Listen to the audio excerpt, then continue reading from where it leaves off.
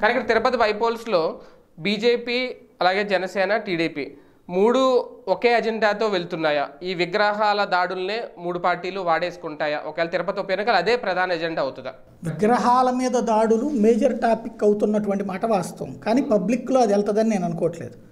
అంటే తిరుపతి పరంగా వచ్చేటప్పటికి దాని జియోగ్రఫికల్ కండిషన్స్ డిఫరెంట్.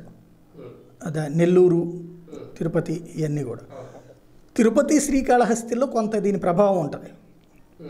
ఎందుకంటే అవి రెండు చిత్తూరు జిల్లా ప్లస్ అక్కడ ఉన్నటువంటి వాళ్ళు ఎక్కువ మంది డిపెండ్ అయ్యేది దేవుడి మీదనే కాబట్టి వాళ్ళ మీద ఈ సెంటిమెంట్ పనిచేస్తుంది. మిగతా ఐదు జిల్లా ఐదు నియోజకవర్గాలు వచ్చేటప్పటికి దాదాపుగా ఎస్సీ కాన్స్టిట్యున్సీస్ ఉన్నాయి. కన్వర్టెడ్ క్రిస్టియన్ ఇవన్నీ కూడా ఉన్నాయి. అక్కడ ఇవి పనిచేయవు ఇంకో రకంగా రివర్స్లో పోతాయి. కాకపోతే ఒకటేంటంటే ఒక మంచి పాయింట్ రైజ్ చేశారు వీళ్ళు. బీజేపీ రైజ్ చేసుకొచ్చిన పాయింట్ ఇరవై రెండు వాళ్ళకి ఇచ్చారు ముగ్గురు వీళ్ళకి ఇచ్చారు మాకు ఒకటి ఇవ్వండి అనేది దాన్ని హైలైట్ చేస్తున్నారు కానీ మిగతా కాన్సెప్ట్ ఇంకోటి దీనికి సమాధానం చెప్పండి రుచి చూపించండి అంటున్నారు. కాబట్టి ఇది అది రెండింటిని తీసుకెళ్తున్నారు వాళ్ళు. ఒకటే పాయింట్ మీద పట్టుకోవాలి విగ్రహాలు అనే పాయింట్ వీళ్ళు కూడా మా రిలీజియస్ కాన్సెప్ట్లోకి పోవాలి. రిలీజియస్ కాన్సెప్ట్ అకస్మాత్తుగా తీసుకుని వచ్చిన వాళ్ళు ఎవరంటే టీడీపీ. కన్వర్టెడ్ క్రిస్టియన్ అనే పాయింట్ని తీసుకుని. అది తిరుపతిలో వాడదామని చూస్తున్నారు.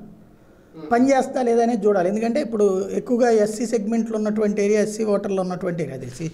సీటే ఎస్సీ రిజర్వ్డ్ కదా. ఎస్సీ రిజర్వ్డ్ ఉన్నటువంటి చోట్ల ఒకప్పుడు కన్వర్టెడ్ క్రిస్టియన్స్కి రిజర్వేషన్ కల్పించమని రాహుల్ గాంధీ కూడా ధైర్యం చేయాలి. లేకపోతే జగన్మోహన్ రెడ్డి ధైర్యం చేయాలి? రాజశేఖర రెడ్డి ధైర్యం చేయాలి? ఆ ధైర్యం చేసినోడు చంద్రబాబు నాయుడు ఒక్కడే. అట్టంటే ఆయన అకస్మాత్తుగా మత మార్పిడి చేస్తారా అని పల్లవ అందుకున్నాడు. నిలదీశాడు.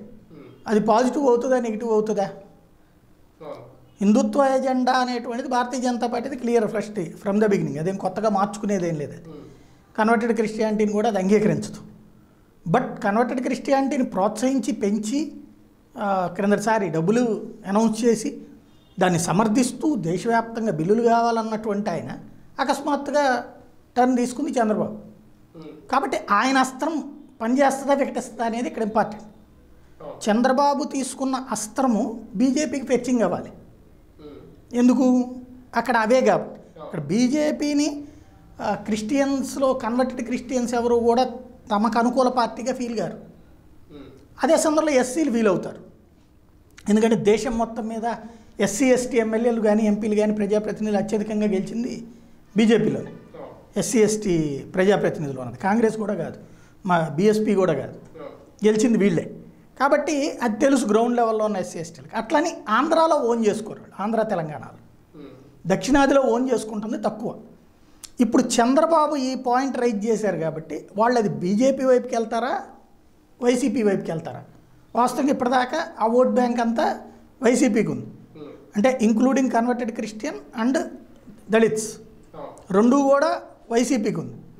ఇప్పుడు ఈయన కన్వర్టెడ్ క్రిస్టియన్ అనే పాయింట్ రైజ్ చేసినప్పుడు ఇక్కడ రెండుగా డివైడ్ అవ్వాలి ఎస్సీల్లో ఆ డివైడ్ అయితే అప్పుడు ఒక వర్గం బీజేపీకి ఒక వర్గం వైసీపీకి వెళ్ళాలి. లేదా ఆ ఒక వర్గం టీడీపీకి ఒక వర్గం వైసీపీకి వెళ్ళాలి. అది ఎవరు లాక్కుంటారు ఆ ఒక వర్గాన్ని? అంటే anti converted Christian Dalit vote bank. అది ఎవరు క్యాప్చర్ చేస్తారు?